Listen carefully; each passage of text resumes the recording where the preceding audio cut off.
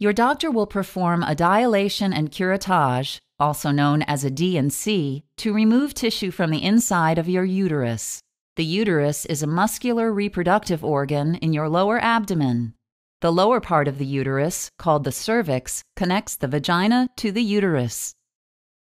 A diagnostic D&C may be performed to investigate the cause of the following conditions abnormal or heavy bleeding, severe menstrual pain, difficulty becoming pregnant, or abnormal cells found in a pap smear. A therapeutic D&C may be performed to treat certain uterine conditions, such as excessive bleeding after birth from remnants of the placenta, cervical or uterine polyps, fibroid tumors, which are benign tumors formed on the uterine wall, and incomplete miscarriage or abortion, in which parts of the embryo or fetus or associated tissues remain in the uterus. Your doctor may want to begin the dilation process the day before your procedure. If so, your doctor will place a softening medication or a thin rod called a laminaria into your cervix. The laminaria slowly expands by absorbing fluid from your cervix, causing your cervix to open.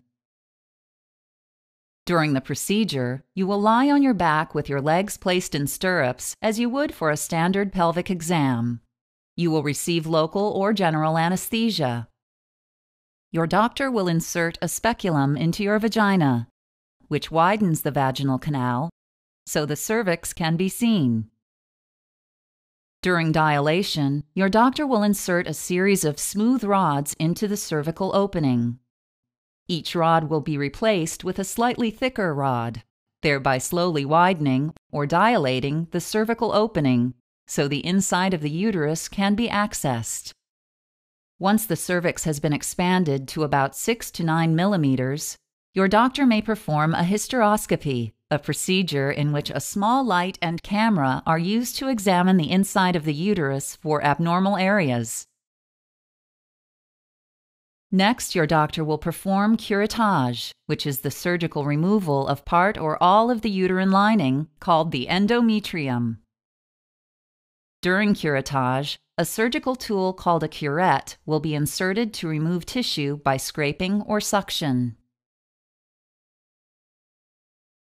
If you are having a diagnostic D&C, your doctor will remove only a small sample of the endometrium and send it to a lab to test for various conditions.